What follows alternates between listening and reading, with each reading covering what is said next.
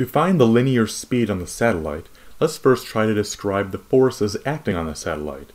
In this case, there is only one. It is the gravitational force between the satellite and the Earth. According to Newton's law of gravitation, the gravitational force acting between two objects is equal to big G, the constant, times the product of their masses divided by r squared. In this case, let's let big M equal the mass of the Earth and small m equal the mass of the satellite. And r refers to the distance between the center of mass of both objects. Since the satellite is moving in a circular path around the Earth, then this gravitational force should be equal in magnitude to the centripetal force acting on the satellite as it rotates through orbit. This formula is of course m times v squared over r, where v is the linear speed we seek, and small m is once again referring to the mass of the satellite. Since v is the variable we want to solve for, let's algebraically rewrite this to solve for v.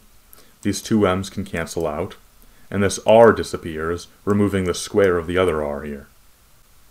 We can now take the square root of both sides to just solve for v.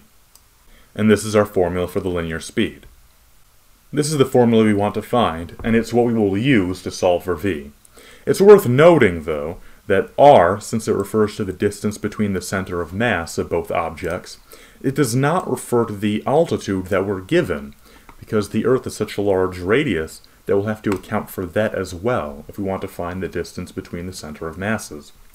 So I'm going to say that r is actually equal to the radius of the Earth, which can be looked up as about 6.37 times 10 to the 6 new, uh, meters, plus the altitude we're given of 160 kilometers. Except I'm going to write this in meters by multiplying kilometers by 10 to the 3. This gives us an orbital radius of about 6.53 times 10 to the 6th power of meters. We can plug that in for r, and also plug in the values for the constant big G and the mass of the Earth. You can look those up fairly easily. And we find that the linear speed of the satellite's orbit is equal to about 7.82 times 10 to the third power of meters per second. Part B asks us to find a period of the orbit. The formula for period can be derived fairly simply from mechanics. Since we know that some linear speed is equal to a distance divided by a time, it can be shown quite simply algebraically that time is therefore equal to a distance divided by a speed. In this case, the distance that the object is moving in one period is going to be equal to the path of a circular orbit, in other words, the circumference of some circle. Since the circumference of a circle is equal to 2 times pi times the radius of the circle, that means that our formula that we're looking for that will give us the period of orbit is equal to 2 pi times the radius of orbit divided by the speed. Both of these unknowns, r and v, are variables that we found in part A.